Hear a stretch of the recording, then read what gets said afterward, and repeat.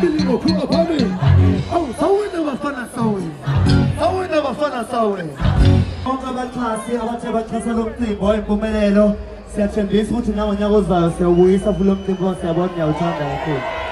ukufaka 2 udisemba ngeyidedele i-albhamu yami ka-2022